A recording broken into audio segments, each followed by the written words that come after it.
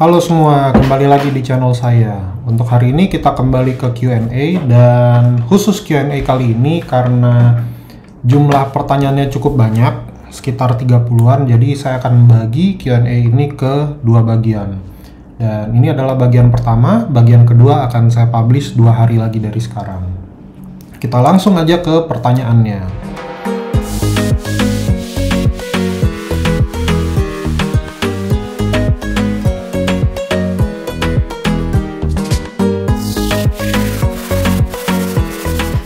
Pertanyaan pertama dari Deski Romi, Om hanya ganti sensor temperatur untuk M46, apakah mungkin N42 bisa buka termostat lebih cepat? Oke, seperti vlog sebelumnya yang pernah saya publish, ada banyak hal dan ada banyak sensor temperatur nih yang mempengaruhi kinerja elektronik termostat. Nah, sekarang permasalahannya ada di sensor temperatur yang mana? Karena kalau di M46 sendiri OBC yang di instrumen cluster itu cuma bisa baca angka engine coolant temperatur, nggak bisa baca radiator outlet sensor, intake intake air temperatur dan ambient air temperatur mungkin ada hanya di beberapa model cluster yang bisa baca ya. Jadi ada OBC-nya yang dipencet-pencet lewat tuas sein. Nah, kalau masalahnya itu kita nggak tahu ada di sensor yang mana, kita juga nggak bisa menjamin bahwa penggantian sebuah sensor dapat membuat N46 uh, operating temperaturnya bisa turun karena kita nggak tahu masalahnya di mana. Terus nomor 2 pertanyaannya dari Iguanaldo 89 Mazda CX-3 atau Yaris Cross? Kalau saya pribadi lebih suka Mazda CX-3 dari segi bentuk. Pertanyaan ketiga dari SNS TJ BMW 323i M52 konsumsi 16 1 liter 6 kilo termasuk boros nggak om? Kalau boros biasanya kerusakannya di mana? Lumayan boros karena 323i E46 saya itu ada di 7,5 km per liter dan mesin 2500 cc di mobil bapak saya yang 523i E39 itu kurang lebih segitu juga 7,5 km per liter dalam kota dan mesinnya M52 semua.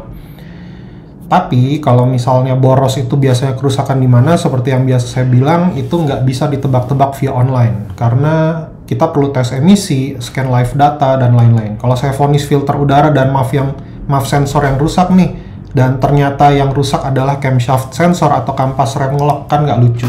Pertanyaan nomor 4 dari Kelvin Yohanes, kapan kita tahu Matic perlu di overhaul ya om? Ada yang bilang bersihin valve body juga cukup kalau jeduk. Nah ini, saya bukan ahli Matic jujur, uh, saya nggak pernah bongkar-bongkar Matic, tapi kalau misalnya Matic jeduk, itu biasanya entah olinya kurang atau valve bodinya kotor atau temperatur ATF-nya ketinggian. Jadi kalau ditanya cukup bersihin valve body kalau jeduk, iya bisa banget. Tapi patokannya kalau udah overall nih, kalau misalnya metiknya udah slip, kalau misalnya udah digas gas gas tapi metiknya cuma meraung, nggak ganti eh nggak ganti gigi atau speednya nggak bertambah, pokoknya slip gitu ya. Nah itu itu udah pertanda hampir pasti overhaul total karena udah plat kopling yang habis sudah bukan olinya yang kotor. Kalau oli kotor biasanya jeduk doang atau shiftingnya kasar. Tapi kalau udah sampai selip ya biasanya koplingnya yang habis. Selanjutnya dari 8492X buat W202C180 shock mana yang paling nyaman ya? Baca-baca komentar rata-rata bilang Bilstein keras. Dan per W210 bisa dipakai buat W202 enggak ya? Oke, okay, Bilstein Bil, Bilstein hitam itu keras dan Bilstein kuning lebih keras lagi. Jadi benar kata-kata orang bahwa Bilstein itu keras. Kalau mau nyaman, pilihlah Saks atau Boge.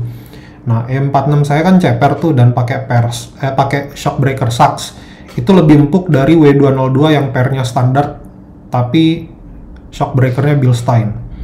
Nah, kalau masalah per 210 bisa dipasang di 202 atau enggak, kalau misalnya teman-teman lihat jenis karet dudukan buat 202 nih, itu kan karetnya kompatibel sama W124 sama W210 kan. Berarti diameternya sesuai. Tapi kalau pertanyaannya, kalau misalnya pakai per W210 atau W124 di 202, tujuannya apa? Kan mobilnya jadi bakalan cingkrang, bakalan naik gitu tinggi meskipun cuma pakai karet titik satu Nah, ada beberapa teman-teman yang pakai per 230E di 202, ada juga yang pernah pakai per New Ice, tapi ujung-ujungnya kalau mau diceperin memang semuanya mesti potong per. Selanjutnya dari Dimas Ocon, W210 mesin V6 sama kayak 202 C240 nggak sih? Kuat mana engine-nya sama C230 non compre dan segi maintenance. Nah, gini nih bro.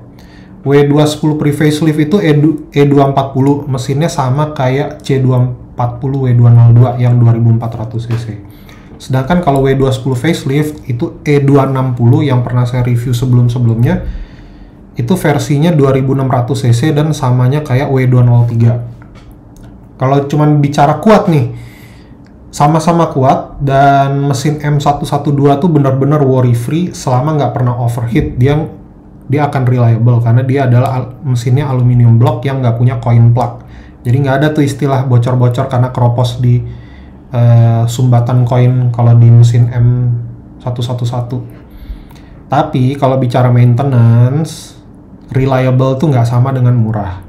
M112 itu akan 2 sampai 3 kali lipat lebih mahal dari mesin M111 C230 non compre karena silinder headnya 2 versus versus 1. Valve cover juga 2. Gasketnya juga kali 2. Busi 12 versus 4. Ignition coil 6 di mesin V6 dan cuma 2 di mesin C230 non compre dan ganti busi di ujung silinder yang sisi penumpang tuh biasanya harus buka engine mounting. Berarti kan kalau mau ganti busi nggak bisa nih busi yang cuma 20.000 kilometeran, harus busi yang agak panjang usianya dan sekalian ganti engine mounting. Lumayan 4 4 juta habis untuk ganti engine mounting dan busi itu kerasa juga. Selanjutnya pertanyaan dari Wilgan Wilgan. Om, kalau mobil Mercy yang nggak begitu rewel, tipe yang mana? Biasanya sih tipe yang baru nggak bakal banyak masalah karena usianya muda. Tapi kalau cari yang tipe lama, ya saran saya sih cari yang benar-benar bagus kondisinya, bukan yang asal murah. Pertanyaan selanjutnya dari Dava Alvia, rekomendasi oli transmisi dan gardan untuk W202 C180 manual tahun 95 dong om. Bebas, mau 75W90 atau 80W90 nggak masalah, masing-masing 2 liter untuk transmisi dan gardan. Cuman ingat nih, oli transmisi itu GL4, oli gardan itu GL5 dan jangan kebalik. Selanjutnya dari daerah Kaisar.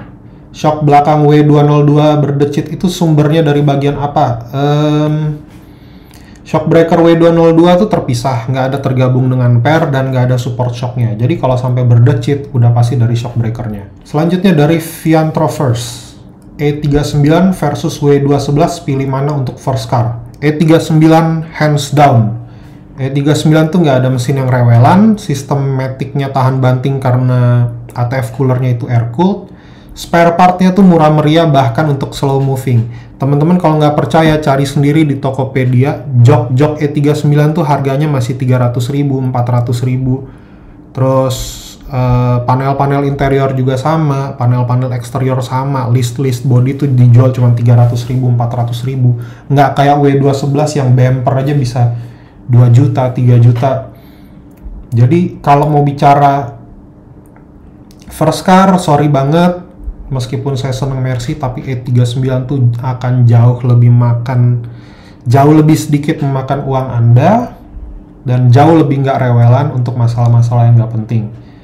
Keluhan E39 tuh cuma satu aja seriusan yaitu teman-teman bakalan ngeluh boros karena Mercy untuk CC yang sama umumnya lebih irit dari BMW.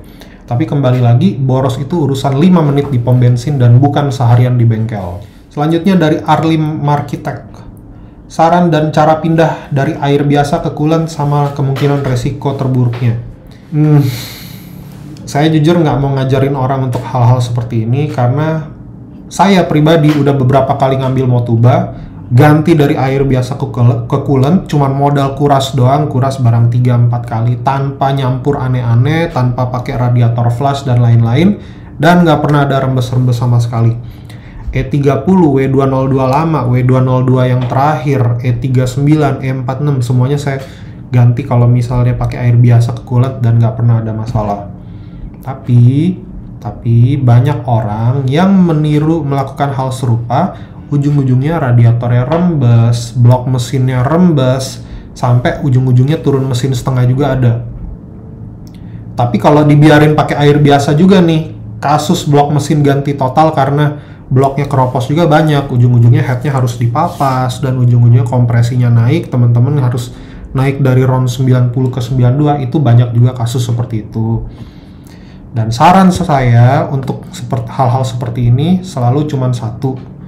Kecuali teman-teman siap untuk resiko terburuk turun mesin total atau paling nggak ganti radiator total, jangan pernah ambil mobil yang air radiatornya pakai air biasa. Kecuali teman-teman udah siap resiko-resiko terburuk ini. Memang kedengarannya lebay, tapi lebih aman buat teman-teman dan juga lebih aman buat saya karena saya nggak perlu tanggung jawab. Daripada saya bilang oh aman ganti coolant aja terus ujung-ujungnya rembes saya yang disalahin nggak mau. Karena saya pribadi sayang mobil-mobil saya nggak pernah rembes ketika diganti ke coolant tapi memang di luar sana ada mobil-mobil yang ketika ganti ke coolant dia rembes. Dan mobil yang radiatornya diisi air biasa dan bukan coolant itu adalah mobil yang dari sononya udah minta nambah-nambah air radiator terus. Jadi dari dulu tuh udah ada permasalahan rembes nggak ketahuan ke mana makanya selalu diisi-isi air radiat air air biasa sorry bukan bukan coolant yang benar karena kalau mobilnya nggak nggak perlu nambah-nambah air radiator maka mobilnya akan diisi dengan coolant makanya saya bilang jangan pernah ambil mobil yang air radiatornya diisi air biasa karena dari sononya udah pasti rembes intinya seperti itu Selanjutnya dari Andar Bajo, dari semua W204 seri apa yang paling reliable?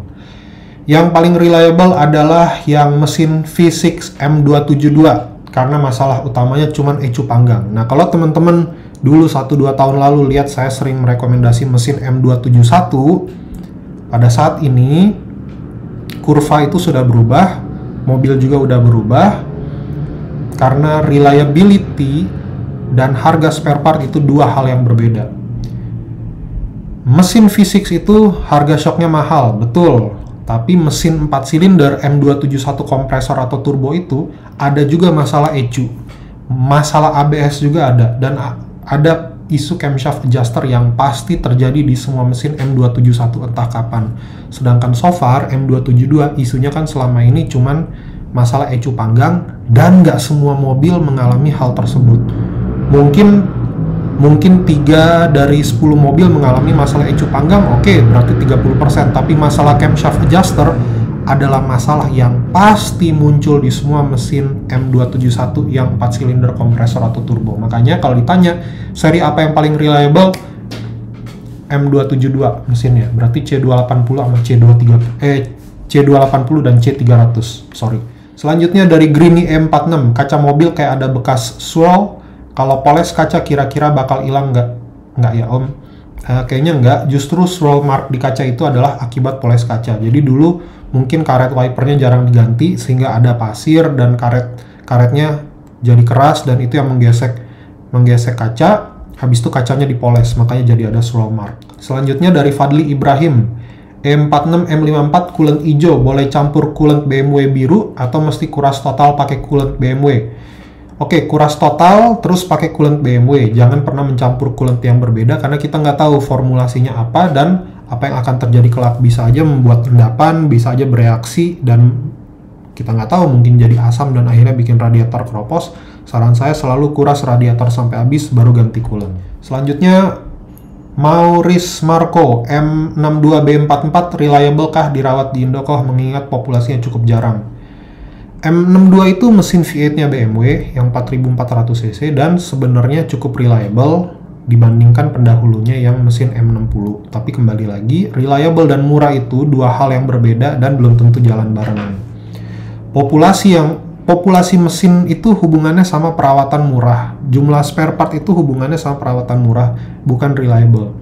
Sebagai contoh, mesin M43 yang sangat populer di E36 dan E46 itu bukan mesin yang reliable kalau mau lihat dari segi reliability, mesin 6 silindernya E36 dan E46 itu hitungannya jauh lebih reliable dari yang mesin 4 silinder M43 ya. Tapi M43 jelas lebih mudah dirawat karena spare partnya banyak, makanya dijabanin sama orang-orang Indo. Oke teman-teman, itu aja dulu untuk part 1. Saya akan melanjutkan vlog ini di part yang kedua.